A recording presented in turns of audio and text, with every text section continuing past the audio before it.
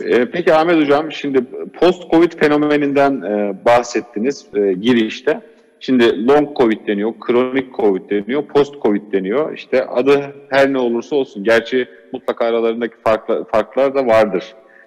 Şimdi post-Covid sendromu diye veya long Covid diye tamamen tanımlanmış net bir literatüre daha henüz geçmiş. Bazılarında 3 hafta sonraki sendromlardan, bazılarında 4 hafta deniyor. Siz nasıl tanımlıyorsunuz ve riskleri olarak neler görüyorsunuz biz post-Covid döneminde?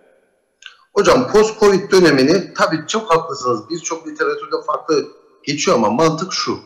Yani alacağımız, eve götüreceğimiz mesaj şu. E, Covid'e bağlı Covid'in direkt etkisine bağlı olan şikayetler, bulgular azaldıktan sonra biraz durgunluk periyodu. İşte ondan sonra bu konuyla daha önce şikayet olmayan veya bulgusu olmayan farklı hastalıkların ortaya çıkması.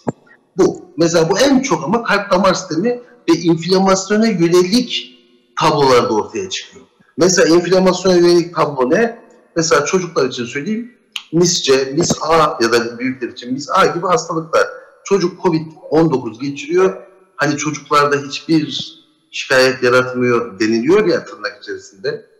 E çocuk bir, bir ay sonra ateşlenme başlıyor. Ve bu ateşlenme eğer 3-4 gün üzerinde geçerse bu çocuklar özellikle yoğun bakımda takip altına alınıyor.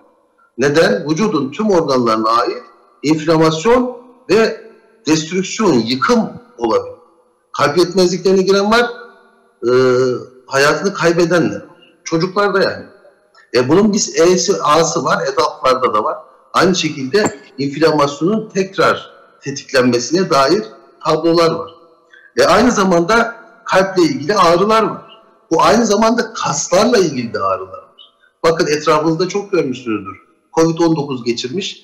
Yorgunluğu yavaş yavaş geçiyor ama yeni farklı bir şikayet var. O ne? Kas ağrıları. Mesela inflamasyonu devam ediyor. Yine bir yıkım var. Akciğerde, akciğerle ilgili sorunlar devam edebiliyor. Fibrotik bir şekilde iyileşiyor. O zamanlar da yine televizyonda sordular. O zaman inanış şuydu. Tedavi oldun mu alkışlanarak çıkıyorsun. Her şey bitti. Ya inflamasyonun olan yerde sekelsiz bir durum olabilir mi?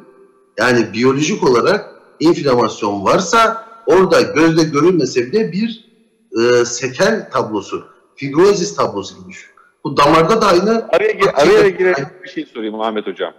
Şimdi inflamasyon aslında COVID'den önce de kronik hastalıkların zemininde temel bir inflamasyon yattığı ile ilgili bir teori vardı. Şimdi bu COVID de inflamasyonu artırıyor. Bundan sonraki kronik hastalıklar döneminde de bir artışlar, işte diyabetin de kökeninde bir takım inflamasyon var. Diğer işte kalp damarları, kalp damar hastalıklarında da var. Böyle bir kronik hastalıklarda bir patlama gibi bir şey söz konusu olabilir mi? Öngörünüz nedir? Öngörümü söyleyeyim. Kesin bilgi değil ama öngörü. Bir senedir bu öngörüler işe yaradı. Kendi hayatımla ilgili söyleyeyim. Öngörüm şu artacak. Yani diyabet hastası Covid'e yakalandı. iyileşti tırnak içerisinde. Diyabet şikayetleri artacak. Ya da hipertansiyon artacak. Ya da miyokarditti zaten ya da kalp yetmezliğiydi. Covid geçirdi, vefat etmedi, şikayetler artacak, bulgular artacak. Bu arada yani, araya, araya tekrar bir daha... Inflasyon, inflamasyon, hocam. hocam inflamasyon kümülatif etki eder. Yani dokundu geçti değil. Dokunduğu yerde fibrozis yapar, diğer etken geldi onun üzerine tuğlaları koyar.